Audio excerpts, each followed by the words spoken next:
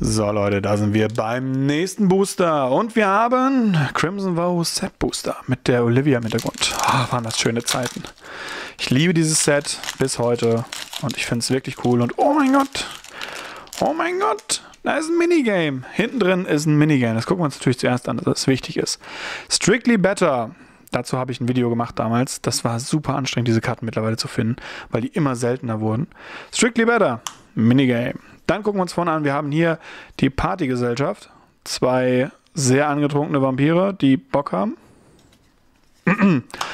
Ein Forest, schwarz-weiß Forest. Sehr, sehr schöner Forest. Alchemist Retrieval. Ein Mana, wir bringen ein Nicht-Land-Permanentes, das wir kontrollieren sogar auf die Hand und für zwei Mana hat das Ding Cleave. Bei Cleave können wir diese Square Brackets, also diese eckigen Klammern rauslassen, dann sagt der Non-Land-Permanent zu auch noch Hand. Ja, ein Mana für uns selber, zwei Mana für den Gegner. Cruel Witness, 4 Mana 3-3 fliegend.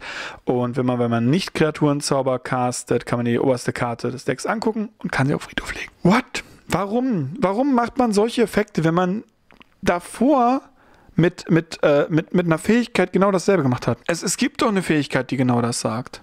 Das ist nicht Scry, sondern Ding. Synkopate. Ein blaues und X für Countdown Spell ist eine Wäschezahl X Mana. Und äh, der Spell, der gecountert wird, wird. Ach so, wenn er, wenn er gecountert wird, wird er Exil statt in den Friedhof gelegt. Okay. Cartograph Survey. Vier Mana Sorcery. Wir gucken uns sieben, müssen sieben Karten an, nehmen zwei Länderkarten davon getappt ins Spiel und den Rest unter das Deck. Für vier Mana kriegen wir zwei Länder und wir gucken uns sieben Karten. Oh, stark. Stark. Erinnert mich an ähm, auch so eine andere grüne Karte. Ihr könnt mir in die Kommentare schreiben, wenn ihr glaubt, ihr zu wissen, welche ich meine. Ancient Lumbergnot, 4 Mana 1-4. Jede Kreatur äh, mit Toughness höher als der Power fügt Schaden in höhere Toughness zu. Ist ein Treefolk. Und da gibt es in diesem wunderschönen Commander mit, mit Doran und oder Dovan, Dor, Doran, den, den Treefolk und da passt der halt richtig gut rein. Spiked Ripsaw, what the was ist das? Drei Mana, plus 3 plus 3 Ausrüstung. Immer wenn die equipte Kreatur angreift, kann man Forest opfern, der kriegt Trampel. Ach, die hat mir neulich schon mal. Uff, uff.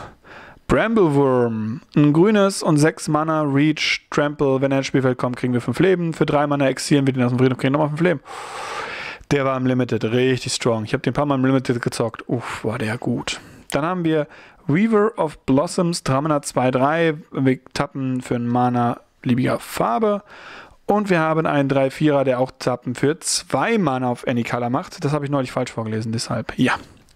Unholy Officiant, 1 Mana, 1-2, Wachsamkeit.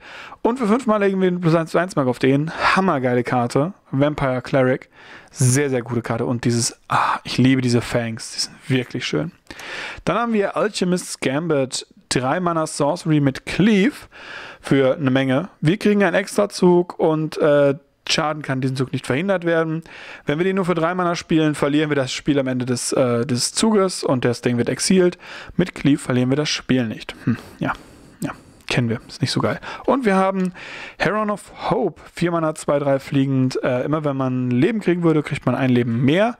Und wird 2 Mana kriegt er Lifelink bis zum Ende des Zuges. Hm, nicht schlecht. Nicht schlecht, Herr Specht. Gut, wir sehen uns beim nächsten Mal. Bis dahin, Black Ciao, ciao.